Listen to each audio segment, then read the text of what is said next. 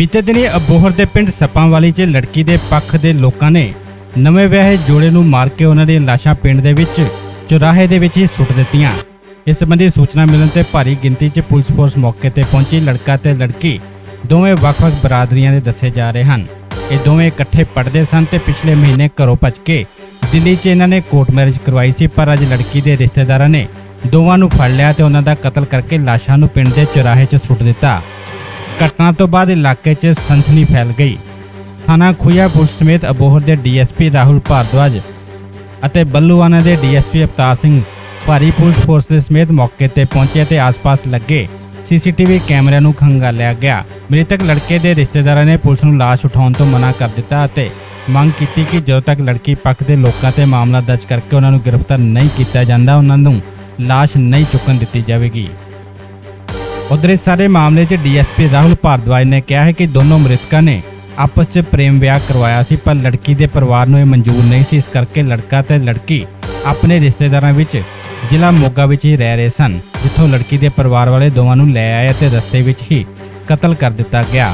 ਮੈਂ ਸਾਰੀ ਰਾਤ ਬਹਿਣਾ ਪੈ ਗਿਆ ਸਾਨੂੰ। ਕੀ ਨਾਮ ਹੈ ਕੀ ਹੋਇਆ ਮੇਰਾ ਨਾਮ ਵਿਕਰਮ ਸਿੰਘ ਹੈ ਜੀ ਮੇਰਾ ਭਰਾ ਹੈਗਾ ਜੀ ਇਹ। ਅੱਛਾ। ਠੀਕ ਹੈ ਜੀ? ਮੇਰਾ ਭਰਾ, ਇਹਨੇ ਕੁੜੀ ਤੇ ਮੁੰਡਾ, ਇਹ ਦੋਨੇ ਆਪਸ ਦੇ ਵਿੱਚ ਰਾਜੀ ਸੀ। ਦੋਨਾਂ ਨੇ ਆਪਸ ਦੇ ਵਿੱਚ ਮੈਰਿਜ ਕਰਵਾ ਲਈ ਕੋਰਟ ਮੈਰਿਜ ਕਰਵਾ ਲਈ। ਠੀਕ ਹੈ? ਖੂਈਆਂ ਥਾਣੇ ਦੇ ਐਸਐਚਓ ਸਾਹਮਣੇ ਬਿਆਨ ਹੋ ਬਿਆਨਬਾਜੀ ਸਾਰਾ ਕੁਝ ਹੋ ਗਿਆ ਜੀ। ਠੀਕ ਹੈ? ਕੁ- ਇਹਨਾਂ ਨੇ ਆਪਦੀ ਪ੍ਰੋਟੈਕਸ਼ਨ ਵੀ ਮੰਗੀ ਸੀਗੀ। ਠੀਕ ਹੈ ਜੀ? ਪਰ ਫਿਰ ਵੀ ਅੱਜ ਇਹਨਾਂ ਬੰਦਿਆਂ ਦੀ ਇੰਨੀ ਹਿੰਮਤ, ਇਹ ਜਾ ਕੇ ਦੋਨੇ ਜਣੇ ਮੇਰੇ ਦੀਦੀ ਤੇ ਮੇਰੇ ਸਿਸਟਰ ਦੇ ਘਰ ਸੀਗੇ, ਉੱਥੋਂ ਚੱਕ ਕੇ ਲਿਆਏ ਆ ਜੀ। ਪਿੰਡ ਰੌਂਤਾ ਪੈਂਦਾ, ਉਹਨਾਂ ਦਾ ਜ਼ਿਲ੍ਹਾ ਮੋਗਾ। ਉੱਥੋਂ ਲੈ ਕੇ ਆਏ ਆ ਗੱਡੀ ਦੇ ਵਿੱਚ, ਗੱਡੀ ਨੰਬਰ ਵੀ ਉਹਨਾਂ ਨੇ ਕਢਾ ਲਿਆ ਸੀਸੀਟੀਵੀ। ਠੀਕ ਹੈ ਜੀ। ਕੌਣ ਲੈ ਕੇ ਆਏ ਕਿਹੜੇ ਬੰਦੇ? ਆਈ ਆਤਮਾਰਾਮ ਤੇ ਦਾਰਾ ਦਾਰਾ ਤੇ ਸਾਰੇ ਲੈ ਕੇ ਆਏ ਆ ਜੀ। ਮਹਿੰਦਰ ਮਾਸਟਰ ਦੀ ਗੱਡੀ ਸੀਗੀ ਜੀ। ਇਹਨਾਂ ਕੁੜੀ ਦਾ ਚਾਚਾ ਲੱਗ ਮਹਿੰਦਰ ਮਾਸਟਰ ਹੈ ਜੀ। ਮਾਸਟਰ ਲੱਗਾ ਜੀ ਮਹਿੰਦਰ। ਉਹਦੀ ਗੱਡੀ ਆਈ ਹੈ ਜੀ। ਉਹਦੀ ਗੱਡੀ ਤੇ ਨੰਬਰ ਵੀ ਆਇਆ ਜੀ। ਆਤਮਾਰਾਮ ਚਾਚਾ ਲੱਗਦਾ ਹਾਂ ਆਤਮਾਰਾਮ ਵੀ ਇਹਦਾ ਚਾਚਾ ਲੱਗਦਾ ਹੈ ਜੀ। ਬਾਕੀ ਇਹ ਸਾਰੇ ਪਿੰਡ ਦੇ ਵਿੱਚ ਹਾਂਜੀ? ਉਹ ਲੈ ਕੇ ਆਏ? ਉਹ ਲੈ ਕੇ ਆਏ ਜੀ ਗੱਡੀ ਦੇ ਵਿੱਚ। ਜ਼ਬਰਦਸਤੀ ਮੂੰਹ ਬੰਨੇ ਹੋਏ ਸੀ ਸਾਰਿਆਂ ਦੇ ਉੱਥੋਂ ਹੀ ਹਾਂਜੀ?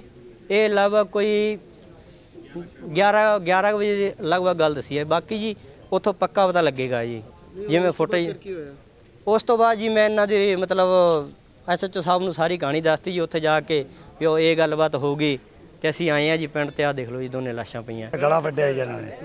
ਹਾਂਜੀ, ਕੁੜੀ ਦੇ ਇੱਥੇ ਇੱਥੇ ਮਾਰਿਆ ਪਿੱਛੇ ਕੁਝ ਤੇ ਗਲਾ ਵੱਡਿਆ ਜੀ ਇੱਥੇ। ਸਾਡਾ ਤੇ ਹੈ ਜੀ, ਜੇ ਜੇ ਉਹ ਬੰਦੇ ਅਰੈਸਟ ਨਾ ਹੋਏ, ਇਹ ਲਾਸ਼ਾਂ ਨਹੀਂ ਜਾਣ ਦੇਣੀਆਂ ਤੇ ਪਿੰਡ ਸੀਲ ਕਰ ਦੇਣਾ ਸੀ ਜੀ। ਬਸ। ਆ ਜਿਹੜੀ ਦੁਕਾਨਾਂ ਸਰ ਜੀ। ਦੁਕਾਨਾਂ ਜਿਹੜੀਆਂ ਨੇੜੇ ਨੇੜੇ ਹੈਗੀਆਂ ਸਭ ਨੂੰ ਫੂਕ ਦਿਆਂਗੇ ਇੱਕ ਵੀ ਨਹੀਂ ਛੱਡ ਸਰ ਜੀ ਰਾਤ ਦੇ ਰਾਤ ਦੇ 11 11 ਵਜੇ ਤੱਕ ਦੁਕਾਨ ਖੋਲਦੇ ਆ। ਨੂੰ ਗਵਾਹੀ ਨਹੀਂ ਦੇ ਰਹੇ। ਰਾਤ ਦੇ 11 11 ਵਜੇ ਤੱਕ ਦੁਕਾਨ ਖੋਲਦੇ ਆ।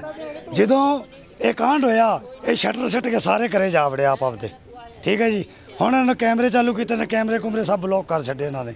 ਹੁਣ ਇਹ ਦੁਕਾਨਾਂ ਜਾਂ ਤਾਂ ਇੱਥੇ ਬੰਦੇ ਅਰੈਸਟ ਹੋਣ ਨਹੀਂ ਤਾਂ ਇਹਨਾਂ ਨੂੰ ਅੱਗ ਲਾ ਦਿਆਂਗੇ ਅਸੀਂ ਦੁਕਾਨਾਂ ਨੂੰ।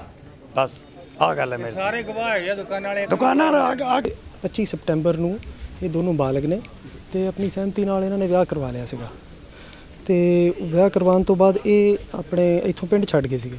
ਪਿੰਡ ਛੱਡਣ ਤੋਂ ਬਾਅਦ ਇਹ ਆਪਣੇ ਸਿਸਟਰ ਜਿਹੜੀ ਲੜਕੇ ਦੀ ਹੈਗੀ ਆ, ਉਹ ਆਪਣੇ ਜ਼ਿਲ੍ਹਾ ਮੋਗਾ ਦੇ ਥਾਣਾ, ਆਪਣੇ ਨਿਹਾਲ ਸਿੰਘ ਵਾਲੇ ਦੇ ਪਿੰਡ ਰੌਂਤਾ ਵਿੱਚ ਉੱਥੇ ਰਹਿੰਦੀ ਹੈ ਤੇ ਉੱਥੇ ਦੋਨੋਂ ਚਲੇ ਗਏ ਸੀਗੇ।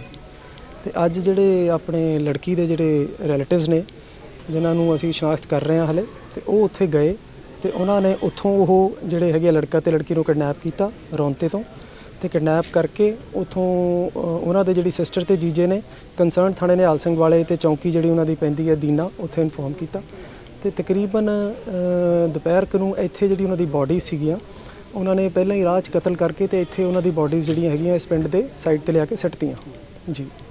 ਤੇ ਕਾਰਵਾਈ ਕੀਤੀ ਛਾਪੇਮਾਰ ਵਾਸਤੇ ਹਾਂਜੀ ਕਾਰਵਾਈ ਕਾਰਵਾਈ ਬੇਸਿਕਲੀ ਇਹਦੇ ਵਿੱਚ ਜੀ ਜਿਹੜਾ ਆਪਣੇ ਜਿਹੜੇ ਐਫ ਆਈ ਆਰ ਲੌਜ ਹੋਈ ਹੈ ਕਿਉਂਕਿ ਇਹ ਕਿਡਨੈਪ ਜਿਹੜੇ ਹੈਗੇ ਥਾਣਾ ਨਿਹਾਲ ਸਿੰਘ ਵਾਲੇ ਤੋਂ ਹੋਏ ਸੀਗੇ ਉੱਥੇ ਐਫ ਆਈ ਆਰ ਲੌਜ ਹੋ ਗਈ ਹੈ ਉੱਥੋਂ ਟੀਮ ਉਹਨਾਂ ਦੀ ਚੱਲ ਪਈ ਹੈ ਕੁਝ ਜਿਹੜੇ ਅਕਿਊਜ਼ ਨੇ ਜਿਹੜੇ ਆਪਣੇ ਸਾਨੂੰ ਹਲੇ ਸ਼ੱਕੀ ਸੀਗੇ ਉਹ ਅਸੀਂ ਰਾਉਂਡ ਅਪ ਕਰ ਲਏ ਆ ਕੁਝ ਅਸੀਂ ਜਿਹੜੇ ਹੋਰ ਇੰਪੋਰਟੈਂਟ ਸਾਨੂੰ ਲੀਡਸ ਮਿਲੀਆਂ।